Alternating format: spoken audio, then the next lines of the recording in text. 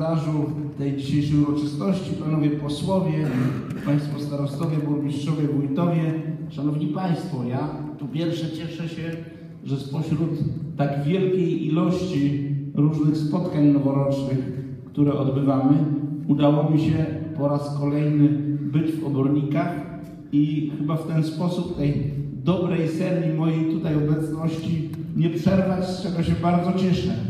Myślę sobie, jak słuchałem wystąpienia pana burmistrza, że w zasadzie trudno powiedzieć, czego wam życzyć, bo z jednej strony w tym wystąpieniu, jak i w tym filmie, który jest pokazywany za moimi plecami w tej chwili, widać, że państwo w zasadzie bardzo wiele rzeczy macie.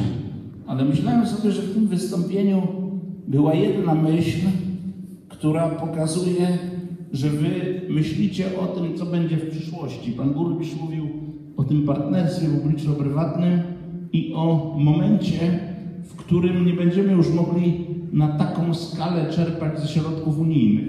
I pomyślałem sobie, że ja od jakiegoś czasu, będąc w różnych miejscach i w różnych samorządach, to się często pytam, a co będzie, jak tych środków będzie mniej? I na to bardzo często nie ma odpowiedzi, a na pytanie, czy się Państwo do tego przygotowujecie, to też w zasadzie odpowiedź jest taka, że można z niej wywnioskować, że tego przygotowania nie ma. I muszę powiedzieć, że po raz pierwszy się z tym spotkałem, żeby w takim wystąpieniu programowym jasno postawiono na coś, co mówi o przyszłości, o tym, że rzeczywiście władze obornik myślą o tym, co będzie za 5-10 lat. Więc chyba tego tak naprawdę trzeba i władzom obornik, i mieszkańcom życzyć, żebyście zawsze, tak jak to robicie do tej pory, umieli z wyprzedzeniem myśleć o tym, co zostawicie po sobie następnym pokoleniom i tego Wam życzę.